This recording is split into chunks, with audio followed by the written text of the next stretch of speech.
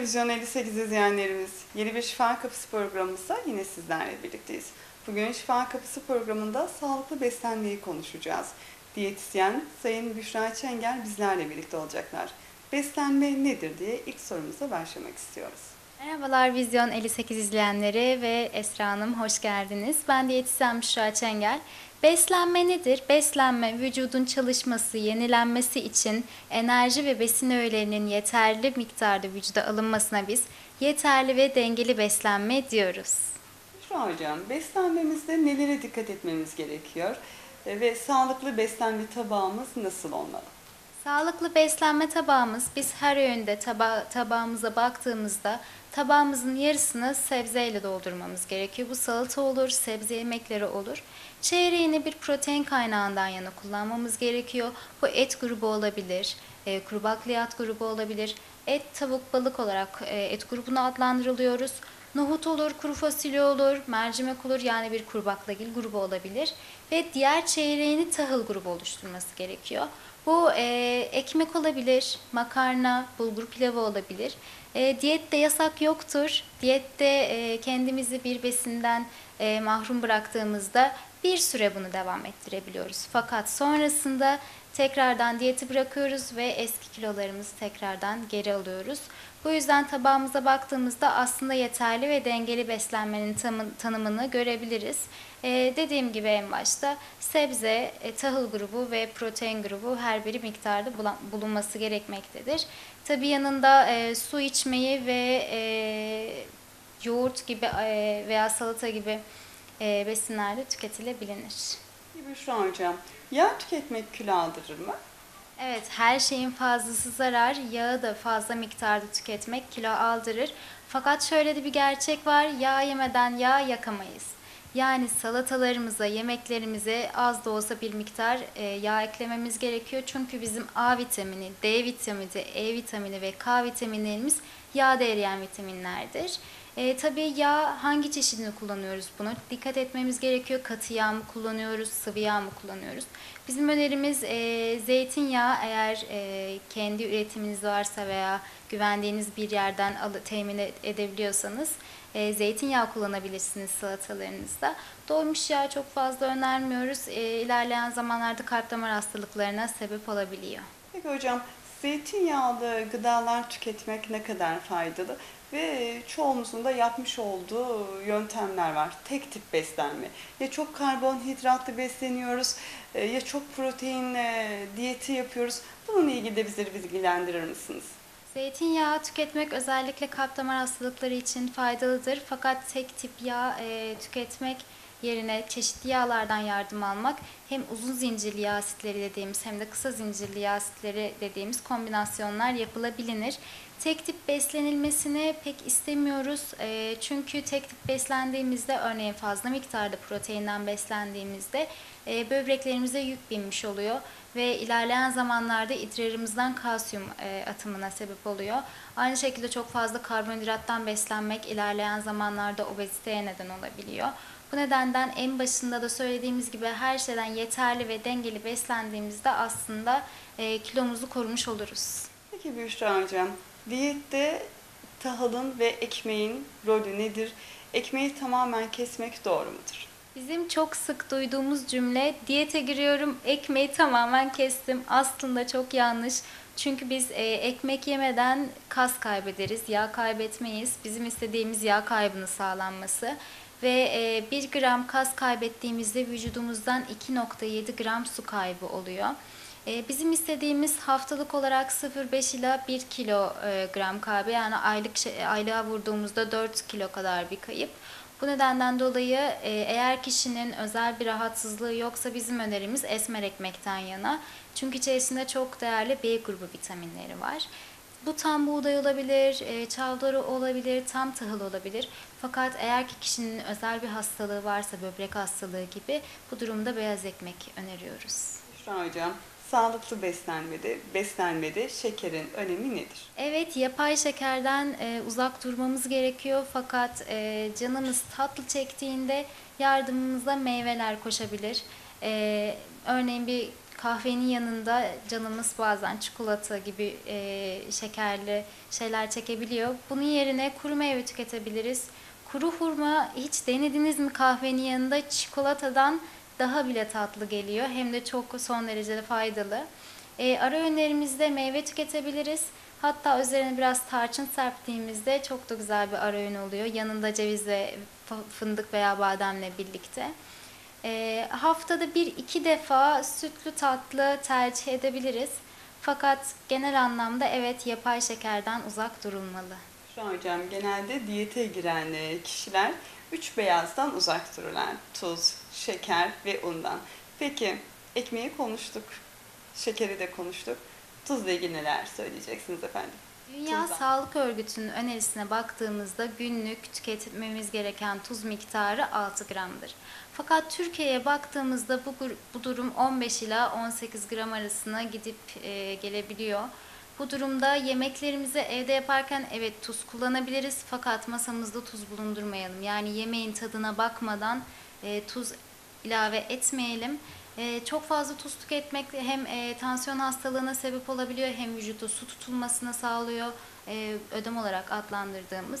Bu nedenden dolayı e, azı karar çoğu zarar olarak tuzu bu şekilde ifade etmiş olalım. Büşra hocam çalışma hayatını vermiş olduğu tempodan artık e, evlerde biraz da yemek pişirilmeme gibi işte hazır yiyeceklere biraz da yönlenme oldu son zamanlarda ve hazır yiyecekler, fast food yiyecekler son zamanlarda ve çocukların da vazgeçilmezi oldu biraz da. Peki hazır yiyeceklerle ilgili neler söyleyeceksiniz izleyenlerimize? Çalışma hayatının vermiş olduğu tempoyla maalesef artık evde yemek yapma oranları düşmüş e, oluyor. Aslında evde tencere yemeği yaptığımızda, kendi yaptığımızı yediğimizde kilomuzu korumuş oluyoruz. Fakat çalıştığımızdan dolayı genellikle hep bir hazıra e, yönelme eğilimindeyiz. Bu zararlı bir davranıştır çünkü içerisinde çok e, fazla miktarda tuz bulunuyor, çok fazla miktarda yağ bulunuyor. Ee, özellikle çocuklar için e, bunu ödül olarak düşünmemek lazım. E, derslerinden iyi aldın, sana e, şu fast food zincirine götürelim, orada e, şunları tüketelim gibi şeyler yerine e, spora yöneltebilirsiniz, bir aktiviteye yöneltebilirsiniz. Bu şekilde uzak durarak sağlığımızı korumuş oluruz. Büşra hocam, sağlıklı bir insanın, bir bireyin günlük kaç litre su içmesi gerekiyor? Su insan yaşamı için oksijenden sonra en önemli öğedir. Ee, vücudumuz toksinlerden arınması için, atık maddelerin vücuttan uzaklaştırılması için suya ihtiyacımız e, suya ihtiyacımız var. Özellikle yaz aylarına girerken e, önümüz Ramazan bol bol su içmeyi unutmayalım. E, 8-12 bardak arası içmeye çalışalım suyumuzu. E, bu şekilde e, susuz hayat olmaz. Lütfen suya dikkat. Peki hocam su bu kadar önemliyken sıvı tüketimi, çay, kahve, meşrubatlar, soda, ayran suyun yerini tutar mı? Maalesef su yerine, su yerine hiçbir sıvı ürün geçmiyor. Ee, örneğin bir çay kahve içtiğimizde vücudumuzda diüretik etki sağlıyor. Yani vücudumuzdan su atılıyor. Bunun yerine tekrar koymamız gerekiyor. Bir e, fincan kahve, bir bardak çay içtiğimizde ardından e, bir bardak su içmek en doğru seçimdir. E, bitki çayları da aynı şekilde her şeyin fazlası zarar. Lütfen bildiğiniz, güvendiğiniz bitki çaylarını tüketin. E, değişik yerlerde satılan, zayıflatma ürünü olarak adlandırılan bitki çaylarını lütfen tüketmeyiniz, sağlığınızla oyna, oynamayınız. E, bitki çayları konusunda yeşil çaydan örneğin yardım alabiliriz. E, metabolizma hızlandırıcı etkisi vardır içerisinde. Epitogalletin e, gallat e, ürünü e, maddesiyle. E, fakat kişinin eğer ki kalp ritim bozukluğu varsa veya hipertansiyonu varsa yeşil çayın e, tüketilmesini istemiyoruz. Bu şekilde e, sıvılardan yardım alabiliriz. Yeşil çayda epi e, gallokateşin gallat var demiştik. Bu e, metabolizmayı hızlandırıcı bir madde dedik. E, aynı zamanda yeşil çay tüketmek kötü kolesterolün düşmesine de e, yardımcı oluyor. Fakat e, fazla miktarda zarar. Günde 2-3 fincan yeşil çay tüketimi e, sağlıklıdır. Tabii kişinin hipertansiyonu veya kalp ritim bozukluğu yoksa. Tabii ki e, sağlıklı zayıflarken e, destekleyici yöntemler de var. Spor yapmanın önemi nedir peki hocam? Sağlıklı zayıflamada, beslenmede. Kilo vermede tek başına beslenme e, yetersiz kalabiliyor. En iyi yöntem aslında beslenme e, fiziksel aktivite ile birlikte yapılması. Kişi eğer e, obez kategorisindeyse yani çok ağır kiloluysa e, başta yürümeyi öneriyoruz. Çok fazla kendisine yormayacak şekilde hafif bir yürüyüş, tempolu bir yürüyüş öneriyoruz. İlerleyen zamanlarda sevdiği bir spor çeşidini e, yapabilir.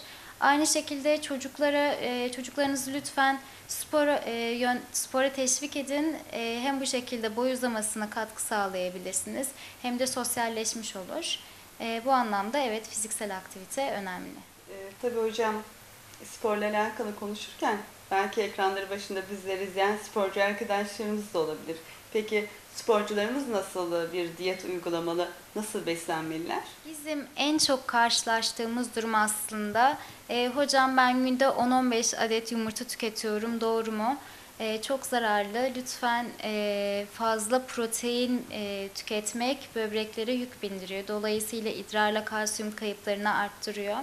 E, yumurta çok değerli bir besinimiz. Anne sütünden sonra gelen en önemli besin öğemiz. Fakat sporcu diyetisyenle birlikte burada hareket etmesi en doğru yöntem olacaktır. Kişi eğer profesyonel sporcu olma yolundaysa. E, yoksa e, kişinin ihtiyacına göre değişmekle birlikte günde bir iki yumurta tüketilebilir. Büşra hocam, e, kuru baklagillerle ilgili düşüncelerinizi de alacağım. İzleyenlerimiz kuru baklagilleri nasıl tüketmeliler? E, beslenmede kuru baklagillerin önemi nedir? Baklagiller kalsiyum, çinko, demir, manganez gibi vitamin ve mineraller, minerallerden çok zengindir.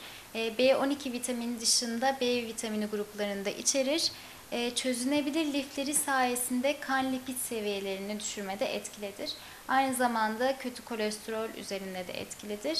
Ve kişi eğer e, karın bölgesi e, yağlanması varsa e, kuru bakliyatlardan yardım alabilir. Hem tok kalabilir hem de bel çevresindeki yağları ya- yakılmasında desteklenmiş olur. Biz eğer kuru bakliyatı bir tahıl grubuyla birleştirdiğimizde aslında maksimum etki alıyoruz. Yani örneğin bir bulgurlu e, nohut e, veya kuru fasulye pilav gibi e, bir tahıl grubuyla birleştirdiğimizde kuru baklagillerden maksimum seviye alıyoruz. Ee, yine kuru baklagilin yanında bir iki dilim tam buğday ekmeği de tüketilebilir.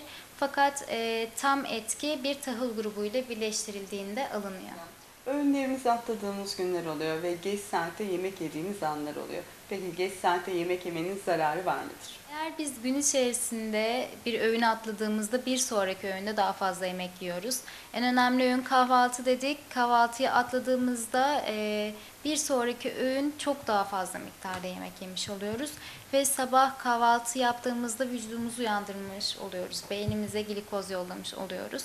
Aynı şekilde geceleyin yoğun çalışma saatlerinden sonra eve geç gelen e, çalışma arkadaşlarımız vardır. E, saat e, yatmaya 2-2,5 saat kala son e, ara öğünümüzü yapıp yatmak aslında en doğru şey. Çünkü vücut artık sirkadyen ritme göre kendisini uykuya hazırlıyor. Bu nedenden dolayı yatmadan 2-2,5 saat önce küçük bir ara öğün yapmak en doğru şey, e, yöntemdir. Örneğin kişi geldi eve e, saat 9-10, e, 12-1 gibi yatacak. Küçük bir ara öğün yapabilir. Bir sandviç tüketebilir ağır yağlı yemeklerden ziyade veya meyve, yoğurt gibi küçük bir e, ara öğün tüketebilir. Bu anlamda bu şekilde e, soruyu cevaplamış olduk. Şu an hocam uykunun önemi nedir? Kaç saat uyku uyumamız gerekiyor? Sağlıklı bir insanın uyku saati nasıl olmalı? Aslında e, evet çok doğru bir noktaya değindiniz. Uyku çok önemli. Kişi eğer günde 7-8 saat uyumuyorsa bu direkt e, yemeğe yansıyor.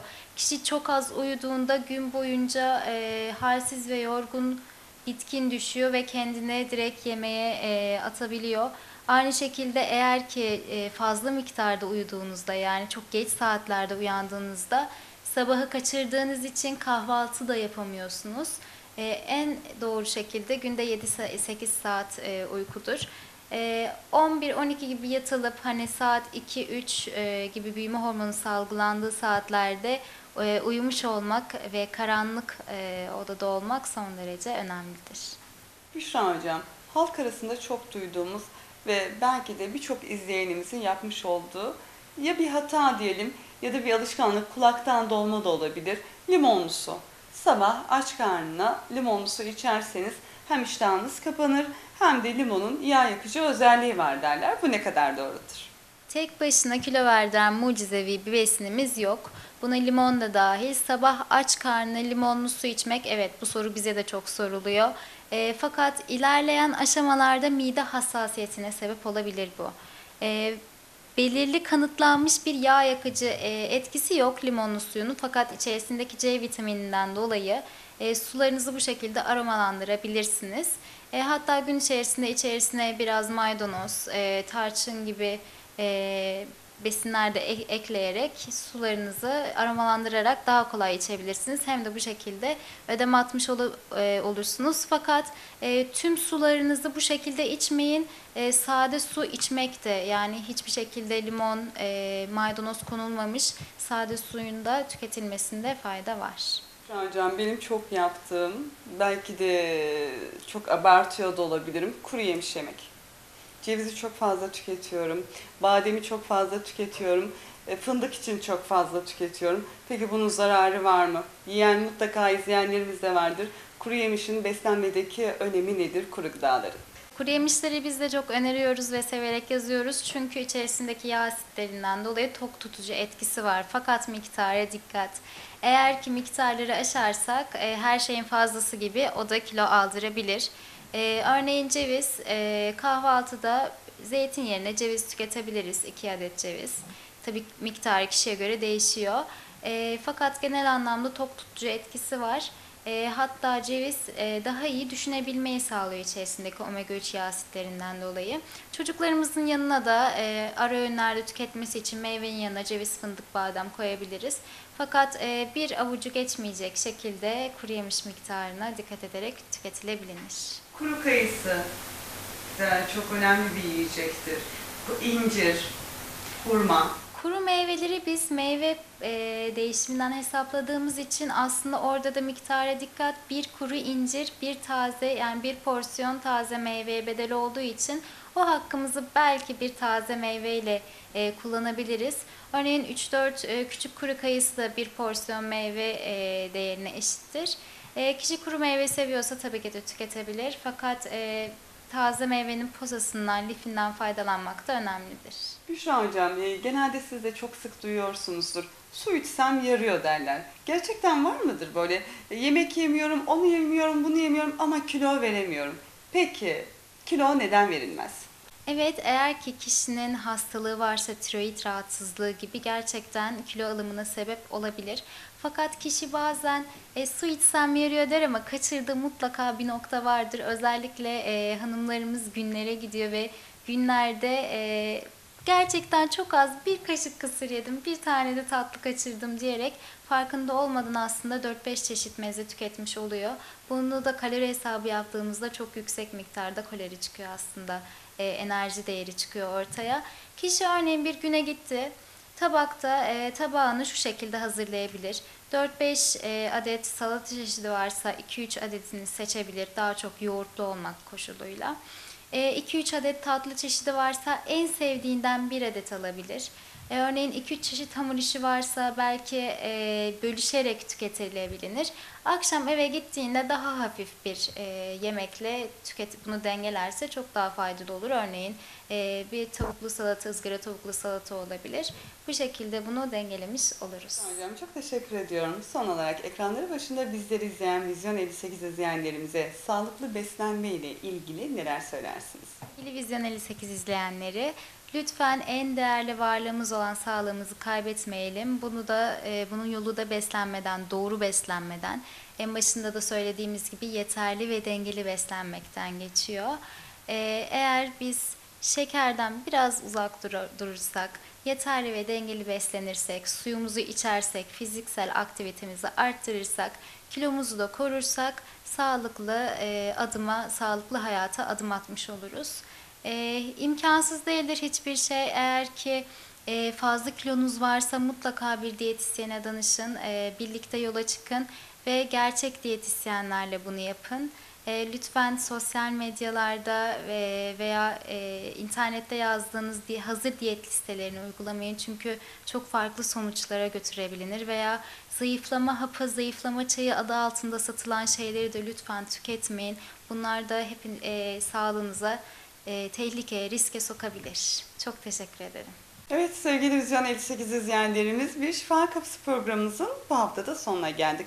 Bugün sizlerle birlikte sağlıklı beslenme noktasında diyetisyen Büşra Çengel'den bilgiler aldık. Şifa Kapısı programımız devam ediyor. Konferansımızda sizlerle birlikte olacağız. Bizlerden ayrılmayın. Bugünkü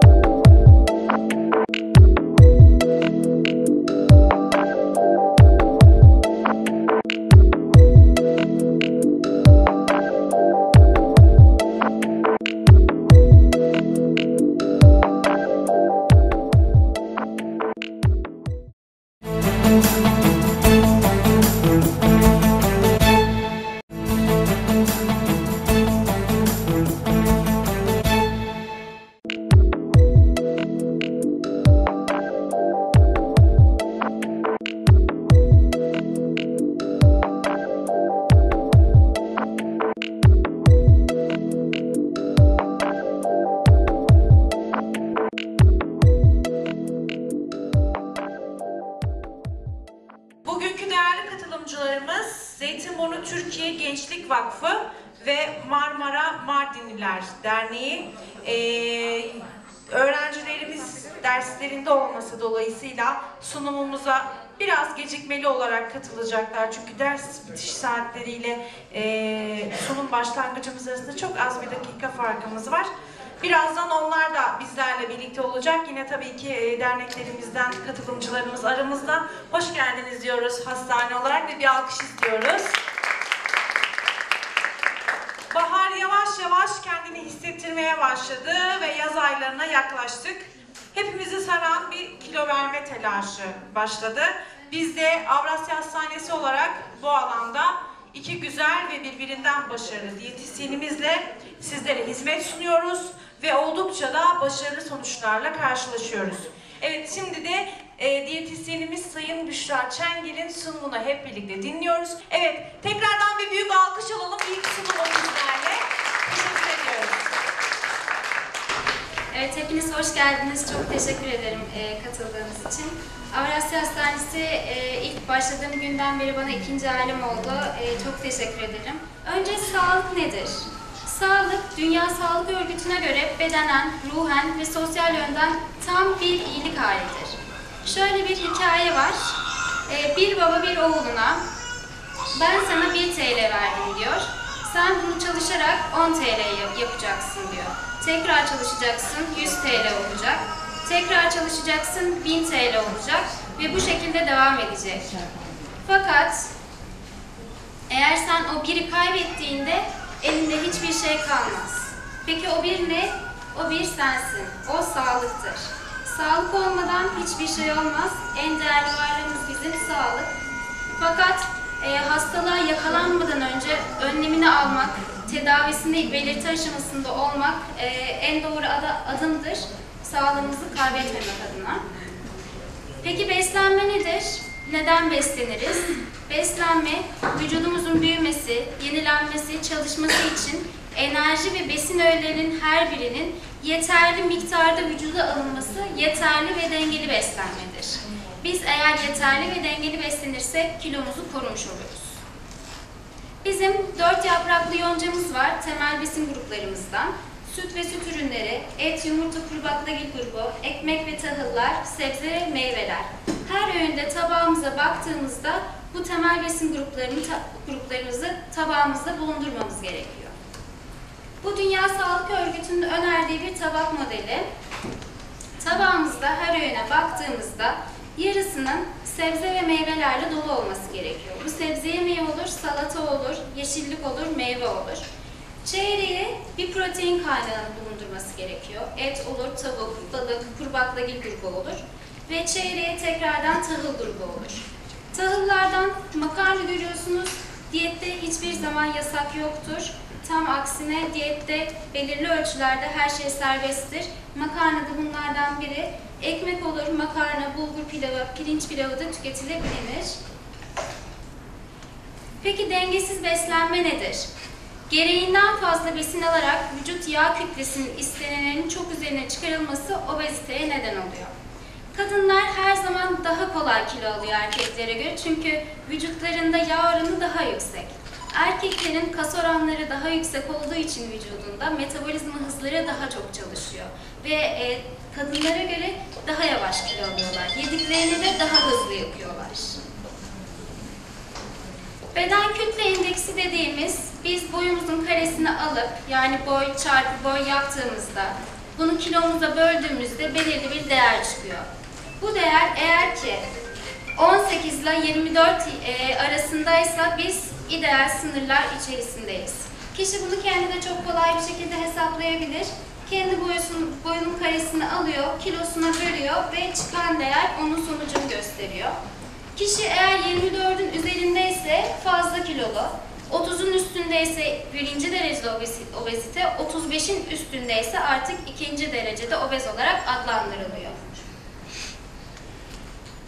Ve en sık yapılan yanlışlardan biri de kahvaltı etmemek. Kahvaltısız dışarı çıktığımızda gerek okulumuzda gerek iş yerimizde verimsiz oluyoruz. Kahvaltı günün en önemli öğünüdür. Çünkü gece boyunca bir açlık çekiyoruz. Ve sabah tekrardan vücudumuzun e, güne başlayabilmesi, başlayabilmesi için beynimiz e, glikoza ihtiyaç duyuyor. Eğer biz kahvaltı yapmadığımızda baş ağrısı, yorgunluk gibi bu belirtilerle kendisini gösterebiliyor. Kahvaltıda neler tüketebiliriz? Eğer ki kişi e, özel bir hastalığı yoksa böbrek hastalığı gibi tam buğday ekmeklerini öneriyoruz biz. Tam tahıl olur, çavdar ekmeği olur. Yine haşlanmış yumurta anne sütünden sonra en önemli bizim besin e, kaynağımızdır yumurta. E, birkaç dilim peynir olabilir, zeytin, ceviz olabilir. Bu şekilde kahvaltı ya, e, atlamayalım kahvaltıyı. Ve en sık yapılan yanlışlardan biri de hızlı kilo vermek için kendimizi aç bırakmak. Kendimizi eğer aç bırakırsak yağ yerine biz kas kaybetmiş oluruz. O hafta aç kaldığımızda, tartıya çıktığımızda tartıda biz evet eksi rakamını görüyoruz. Fakat bu bizim kas kaybımızı gösterir. Hiçbir zaman çok kısa bir vadede, bir haftada 5 kilo, 10 kilo vadeden diyetlerden yağ kaybı sağlanamaz sağlıklı bir şekilde. Diyet yaparken bize en çok gelen sorulardan biri haftada veya ayda kaç kilo, e, ne kadar kilo kaybederim diye. Haftada 0,5 ila 1 kilo arasında kaybetmek en doğru yoldur. Yaklaşık ayda 4 kilo e, olacak şekilde. Ve popüler diyetleri uygulamak artık e, internete herhangi bir diyet yazdığımızda bir sürü kaynak çıkıyor.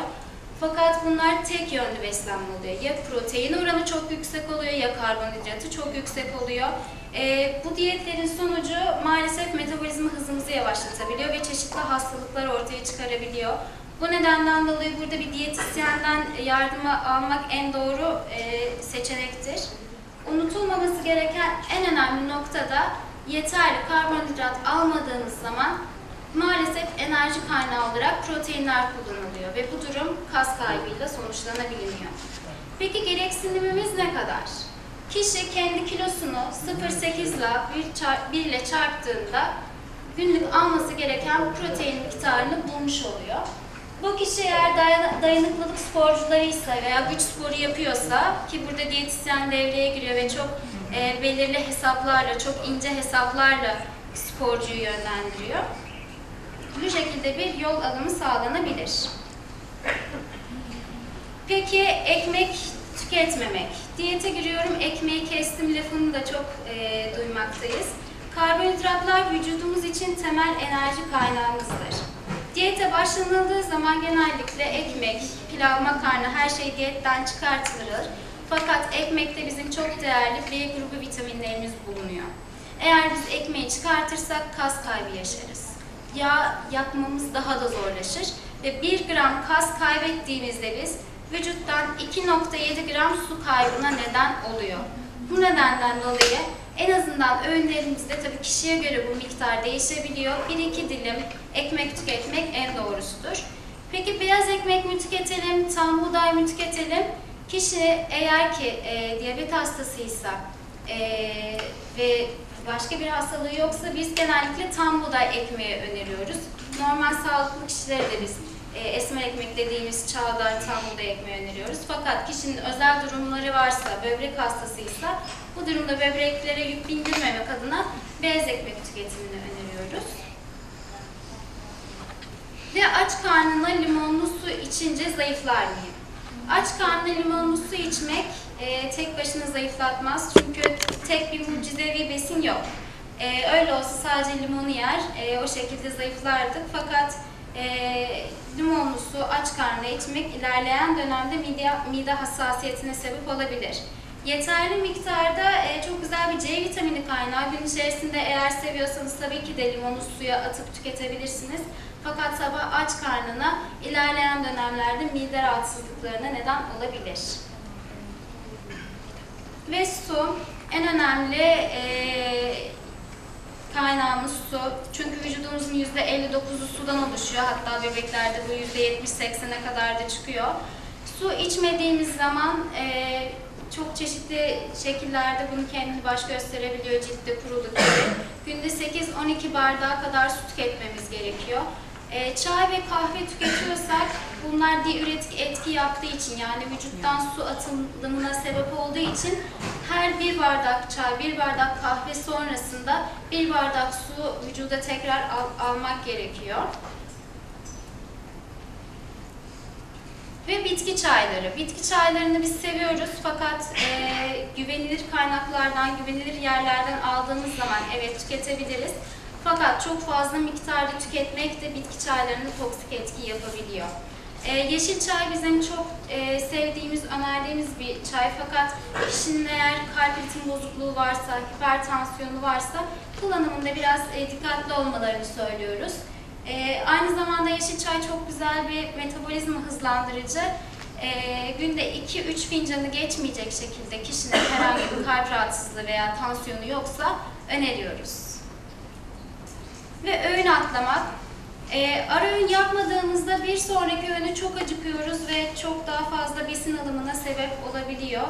E, özellikle e, diyabetli bireyler için ara öğünü çok e, çokça öneriyoruz. Ara öğünlerde neler tüketebiliriz? Kuru yemiş tüketebiliriz, probiyotikli yoğurt tüketebiliriz, galeta olabilir, e, meyve olabilir. Özellikle meyvenin yanında bir süt grubu bulundurduğumuzda veya ceviz, fındık, badem gibi bir kuru yemiş grubu bulundurduğumuzda e, kan şekerinin daha yavaş e, çıkmasına sebep oluyor. Meyvenin biz her zaman kendisini öneriyoruz, suyunu önermiyoruz. Yani posasıyla, lifiyle birlikte almak yine kan şekerini daha yavaş bir şekilde çıkartıyor. Ve baharatlar kilo vermede etkili mi? Dünya Sağlık Örgütü'ne göre günde 6 gram tuz tüketmek e, sağlıklıdır. Fakat ülkemize baktığımızda bu 15-18 grama kadar çıkabiliyor. E, bu nedenle tuz tüketimini öncelikle azaltmamız gerekiyor. Zaten fazla tuz e, vücutta ödeme de sebep olabiliyor. Tarçın, tarçını çok seviyoruz. Gece yatmadan önce ara öğünde sütün içine koyabiliriz, meyvelerin üzerine serpebiliriz, ara öğünlerde yoğurdumuza katabiliriz. Kan şekeri üzerinde birçok olumlu etkisi var. Özellikle e, tip 2 diyabette çok e, çokça öneriyoruz. Ceviz, ceviz zaten şekil itibariyle beyne benzediği için çok güzel fosfor, kalsiyum, potasyum ve demir açısından zengindir. Ve zihin yorgunluğunu giderici etkiye sahiptir ceviz. Kahvaltıda ceviz tüketmek güne hem daha dinç başlamak adına çok güzel bir adım olur. İçerisindeki omega 3 yağ asitleri sayesinde de daha iyi düşünebilmeyi sağlıyor ceviz. Bu nedenden dolayı ara öğünlerde ya da kahvaltıda mutlaka kuru yemiş gruplarını bulundurmaya çalışalım. Zerdeçal, zerdeçalın içerisinde bir madde var. Bu, bunun adı kurkumin. Kurkumin iltihabı azaltmaya yardımcı oluyor. Fakat zerdeçaldaki kurkumini aktif edebilmemiz için karabiberdeki piperine ihtiyacımız var. Yani zerdeçalı karabiberle birlikte tükettiğimizde maksimum faydayı almış bulunuyoruz. Sabah omletimize e, zerdeçal ve karabiberi birlikte ekleyip o şekilde yağda pişirdiğimizde zerdeçal yağda etkisini daha iyi gösterdiği için maksimum e, bu baharattan fayda sağlayabiliriz.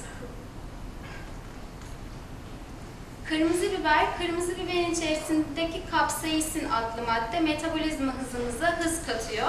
Aynı zamanda antitümör etkisi gösteriyor kırmızı biber.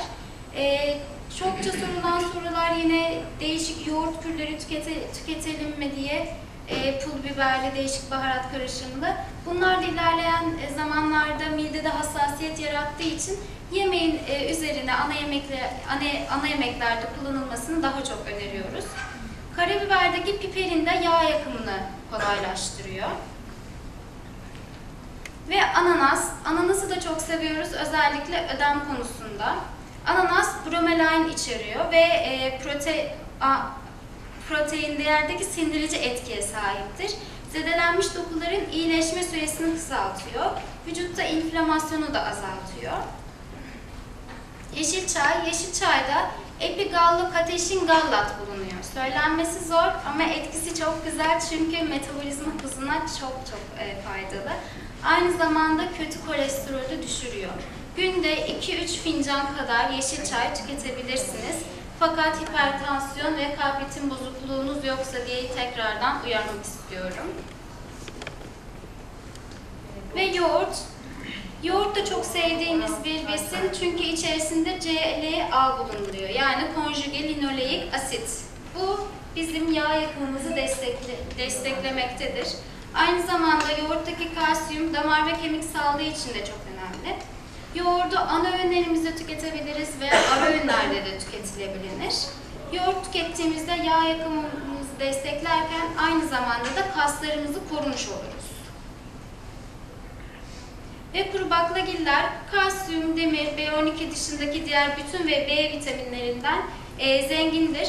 Çözülebilir lif içerdiklerinden dolayı kötü kolesterolü de düşürmektedir. Aynı zamanda tokluk verdiği için, verdiği için özellikle karın bölgesindeki yağlanmalarda çokça kullandığımız e, bir besin öğe- öğemizdir. Ve biz kuru baklagili bazı besinlerle karıştırdığımızda e, tam olarak elzem amino asitler dediğimiz amino asitlerimizi dışarıdan e, almamız gerektiren vücudun üretemediği amino asitleri biz elzem amino asitler di- diyoruz. Biz eğer ki bir kuru bakliyatı tahıllarla birlikte karıştırdığımızda maksimum sonucu alırız. Yani bir nohutlu pilav, kuru fasulye pilav, e, bulgurlu nohut gibi ürünler tükettiğimizde maksimum sonuç almış oluyoruz. Bu nedenden dolayı kuru bakliyatın yanında ya bir tahıl grubu veya bir ekmek grubu tüketmek doğru olacaktır. Ve e, hiçbir zaman şu unutulmamalı, tam bir mucizevi besin yok. Yani tek bir besinden beslendiğimizde hemen zayıflayamıyoruz. E, mutlaka tüm besinleri en başta da söylediğimiz gibi yeterli ve dengeli beslenmek gerekiyor. Bol bol fiziksel aktivite, e, fiziksel aktiviteye atlamamanız gerekiyor. Kişinin sevdiği bir spor varsa bunu yapabilir.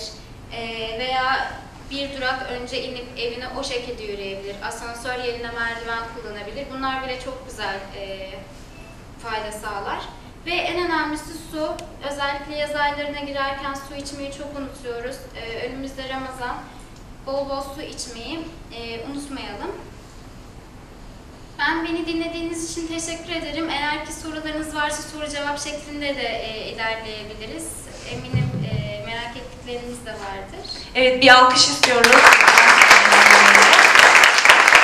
Ben Mehmet Ersar, Türkiye Gençlik Vakfı Zeytinburnu Medya İletişim Başkanıyım. Hocam benim sorum olacak aslında bu e, dengeli beslenmede uykunun önemi. Mesela günde ben 4 saat veya 5 saat uyuyorum. Bunun etkisi nasıl olur? Su önemli bir şey, tüketmemiz gerek. Onu da tüketmiyorum fazla. Yeşil çay olayına değindiniz. E, ben yeşil çayı günde 2 termos içerim. Bir zararı var mıdır? Bunu da sorayım. Teşekkür ederim.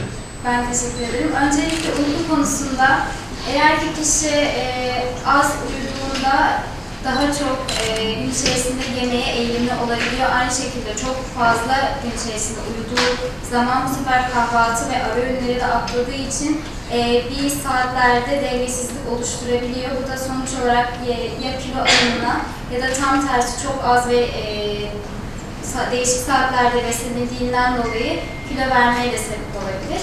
E, ideal saat e, aralığı 7-8 saattir uykuda. 8 saatlik uyku uyuduğunuzda sabah erken bir şekilde e, güne başlayıp kahvaltıyla birlikte e, güne başlayıp e, normal akşam ara öğününü saat 9-10 yatmadan 2-2,5 saat önce yaptığımızda maksimum verim almış oluyoruz. Yeşil çay, iki termos, evet her şeyin fazlası zarar. 2-3 fincanla aslında sınırlandırmak gerekiyor bunu. E, bu nedenden dolayı birazcık miktarını azaltırsanız daha iyi olur. Teşekkür ediyoruz ve bu soruya e, iç hastalıkları uzmanımız, uzman doktor Sayın Ali Vardar da yanıt vermek istiyor. Kendisinin de katkısını alacağız şimdi. Buyurun hocam. Bu uyku ile ilgili soru bizi çok yakından ilgilendiriyor. Çünkü uyku retiküler aktive edici sistem dediğimiz sistemle oluşan bir olay ve hormonal sistemle bununla çok bağlantılı. Günde 4-5 saat uyumak o yaşta biri için çok yetersiz, yarı yarıya az hatta çünkü o yaşında olan bir insanın yani 30-40 yaşından önceki olan kişilerin günde ortalama 7 saat, 8 saat uyuması gerekiyor. Bebeklerin 18 saat, 20 saat uyumaları gerekiyor ki ki ninede bile uyusun da büyüsün diyor annelerimiz. Hakikaten çünkü uyuyunca insanlarda büyüme hormonu salgılanıyor. O yüzden küçükken, bebekken az uyuyan kişilerin boyları kısa oluyor. Ben günde bebekken 20 saat uyumuşum, boyum 1.86 oysa. Yani uyku çok çok önemli. İki tane yeşil çay, ben hayatımda bu kadar yeşil çay tüketmedim ben. Bırak günde iki tane olsun, o acayip uçuk bir rakam. Yani bundan uzak durulması gerek kesinlikle. Annemden örnek vereyim.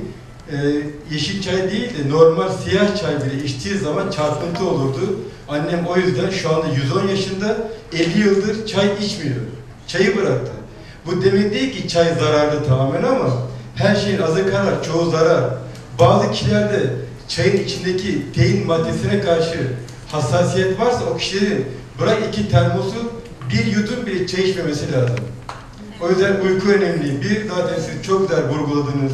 Su içmeyi, e, e, egzersizi vurguladınız çok çok güzel. O hakikaten önemli bir vurgulama oldu benim için ama bu yaşta birisinin günde 4 saat uyuması kadar yanlış, hatalı bir sonuç olamaz.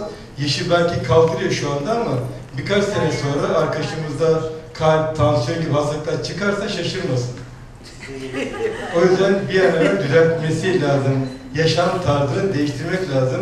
Günümüzdeki Ali Bayram Hocam da çok iyi bilir. Son 15-20 yıldır e, tıp hekimliğinin yaklaşımında ilk seçenek ilaçtan önce yaşam tarzı değişikliğidir. E, izlediğim kadarıyla ben biraz geç geldim slaytlarında benim itirazım olan hiçbir slaytınız olmadı. Sadece büyük harf, küçük harf gibi şeyler yapıyor. Acaba dikkat çekme için mi diye merak ettim. Evet hocam. Biraz Ama çok güzel bir sunumcu, çok teşekkür ediyorum. Bilimsel bir sunumdu. Araştırılmış yayınlardan süzülmüş bir sunum olduğunu Evet düşünüyorum. Çok teşekkür ederim olun. sağlık.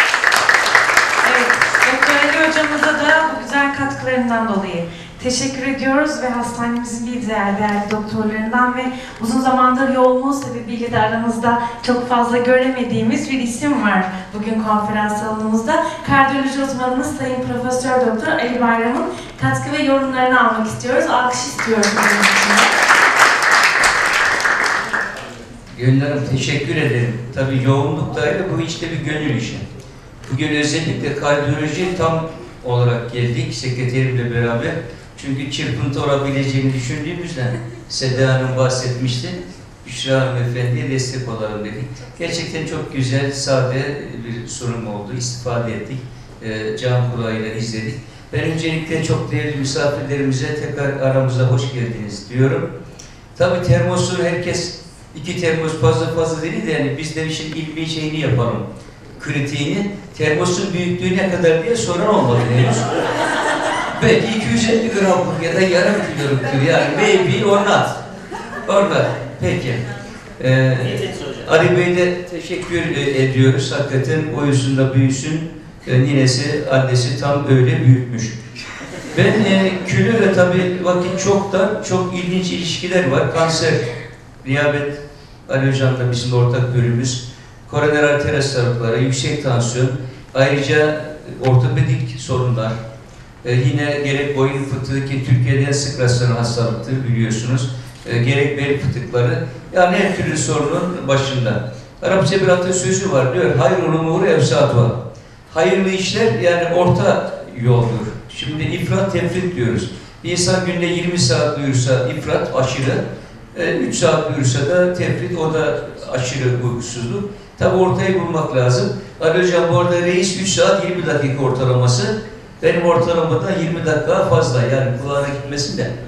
e, Cumhurbaşkanımızın e, çok az uyuyor, çok çalışıyor. E, Onun dışında benim ilave edeceğim uykuyla beraber uyku apnesi dediğimiz çok ciddi bir olayımız var. E, uyku apnesi olanlara ehliyet dahi verilmemesi lazım. Ve de e, aşırı kilolarda üçte birinde uyku apnesi var. Yani direksiyon başına anden uyuruyor. Hani yorgunluk ayrı ama e, dayanılmaz. Örneğin ameliyat yaparken hasta uyuyabiliyor. O ayrı bir tipi narkolepsi. Bir de direksiyon başına birden uyuyabilir. Bazen muayene masasında sırt üstü yatıp sol tarafa döndürüyoruz bir muayene için. Orada uyuyor. E, uyandırıp masadan kaldırıyoruz. Dolayısıyla e, diyabetin bir ciddi sıkıntısı da bu. E, bir de devamlılık. Yani hadis-i şeriflerde de var. E, bir ibadetin diyor az az yapılıp sürekli yapılanı çok makbuldür. Yani bir müddet yaptık bıraktıktan ziyade. Tabi diyet sihirli bir diyet yok. Ömür boyu bir yaşam tarzı olarak benimsenirse oluyor. Şimdi geçen bir hastamız geldi. 1 metre 48 santim boyu 140 kilo. Şimdi incitmemek için soruyorum. İşte onu yemeyelim, bunu yemeyelim. Doktor diyor ben pasta yemem, kek yemem, börek yemem, çörek yemem, tatlı yemem, ekmek yemem, pilav makarna yemem. Ben su içsem yarıyor. Ben de elimde başka bir şey de kalmadı. Dedim suyu azaltacaksın mı? Başka yolu yok. Şimdi zor tabii. Ayrıca ekipte tabii biz bir psikiyatrist veya bir psikolog bir ekip çalışması. Çünkü diyabetik, tabii diyabetik demeyelim de obez olan genç insanlar, bunlar isterse ilkokul yaşı olsun ki giderek artıyor maalesef bu fast food işleri. Yani o çocuklara şişko denmesi ruhlarında çok derin yaralar bırakıyor. Diyeceksiniz genç bir hanımefendiye dense aynı yarayı bırakıyor mu? Yine bırakıyor. Yani insan ruhu yaşlanmadığı için e, orta yaşta ya da ileri yaştaki bir erkek veya bir bayana da aynı şeyi söylese, söylese o da alınır. Dolayısıyla bu işin bir de bu yönü de var. Bir de diyetle beraber yeme bozuklukları var. Mesela hasta 140 kilo, 1 metre 65 santim boyu. Ben gece kalkıp yiyorum diyor. Şu yemekten zevk alıyorum. O da bu işin ayrı bir yönü. Ben en son kısmına en baştan geleyim. Seda hanımefendinin elektrik alma olayı. Efendim bir espriyle bitireyim, vaktinizi almayalım. Şimdi Güney Kıbrıs Rum kesiminde trafo patladı. Bundan 5-6 yıl kadar önce. Kıbrıs Türk kesiminden elektrik almak zorunda kaldılar. O arada da biz de çocuklar bir teşvik ediyoruz. E, İşte annesi birliği göstermiş. İşte ondan elektrik alamadım demiş bizim çocuk. Dedim ya Rum kesimi, Türk kesimi elektrik alıyor. Sen becerip elektrik alamıyorsun. Bu nasıl iş diye biraz sistemde bulunmuştum. Şimdi çok güzel bir dayanışma Büşra Hanımefendi. İbrahim Hocam da gayet iyi bilir. İki tane bir diyor yan yana olduğu zaman 11 eder. Üç tane bir 111, dört tanesi 1111. Bunlar alt alta topladığımızda 4 eder. Yani sinerjik etki diyoruz tıpta. Bu çok güzel bir şey. Allah bozmasın. Allah böyle e, birliğimizi, sizlerde olan o birliği bizlerde de nasip etsin ve sürekli kılsın. Çok güzel bir şey. Hani insan normalde ne bekler? Bir diyetisyen daha geldi. İşte pasta ikiye bölünüyor. Dolayısıyla bir rekabet halbuki Seda Hanım'ın o güzel kalbinde öyle değil. E, gayet hoş bir şekilde bunu anlatıyor. Ben sizi tebrik ediyorum bu güzel duygular için. Büşra Hanımefendi de ona layık bir hanımefendi. Ona da teşekkür ediyoruz. İşletme direktörümüz Sayın İbrahim Orun'un da e, bugünkü sunumla ilgili katkı ve fikirleri ve gençlere de bir eğitimci olarak da zannedersem söyleyeceği şeyler de olur diye düşünüyoruz. Evet bir alkış istiyoruz. Teşekkür ederiz. Türkiye Gençlik Vakfı adına katılımcılara çok teşekkür ediyorum. Ee, bizi onurlandırdınız. Ee, bu her hafta biz yapıyoruz. Sağlıkta okur yazar, Sağlık Bakanlığı'nın projesiyle. Türk toplumunda gerçekten sağlıkta okur yazarlığın yetmezliği sebebiyle, buradaki cahilliğimiz sebebiyle neler ne bedeller ödüyoruz. İlk başta da gördünüz. O trilyonların önündeki bir gibidir bizim varlığımız, sağlığımız. İşte bunu korumak için bu tür bilgilere, bu tür e, gayretlere, emeklere ihtiyacımız var. E, Büşra Hanım'a ayrıca aramıza katıldığınız için çok teşekkür ediyorum. E, sunumunuz için de, tekrar yaptığınız için de e, çok akıcı, çok güzel bir sunumdu. Teşekkür ederim hocam. Çok sağ olun. Teşekkür ediyorum. Tekrar katılımcılara da ayrıca teşekkürler. Türkiye Gençlik Vakfı'nın vizyonuyla, misyonuyla bir sağlık kuruluşunun vizyonu, misyonu da birbirine örtüşüyor. Baktığınız zaman bir ona bakarsanız demek ki önce bir sağlıkçı olmamız lazım. Bu vurguyu da sağlığı bırakmadan ne yapacaksan yap ama o sağlık yoksa hiçbir şey yok. Teşekkürler. Ve bugünkü sunumlarından dolayı, e, bu güzel sunum anlatımlarından dolayı değerli diyetisyenimiz Sayın Büşra Çengel'e hem değerli arkadaşlarımız hem Avrasya çalışanları olarak bir teşekkür belgesi düzenledik. Ve teşekkür belgesini takdim için de hastanemizin değerli doktorlarından kardiyoloji uzmanımız Sayın Profesör Doktor Ali Bayram'ı alkışlarımla da davet.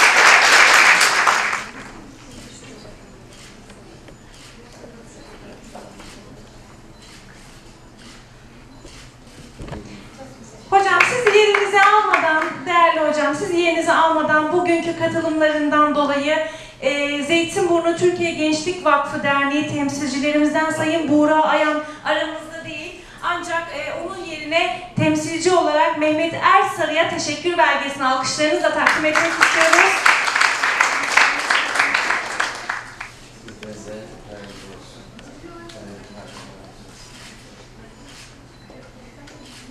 Bu arada Türkiye Gençlik Vakfı. Türkiye Derneği onu. Tamamdır. Teşekkür ediyoruz. Evet şimdi tüm değerli katılımcılarımızı, öğrencilerimizi ve çalışma arkadaşlarımızı da böyle hocamızla beraber kürsüye davet edip böyle toplu bir güzel bir fotoğraf çekimi istiyoruz. Bugünün anısını hep birlikteliğimizi göstermek için. Buyurun arkadaşlar böyle alalım.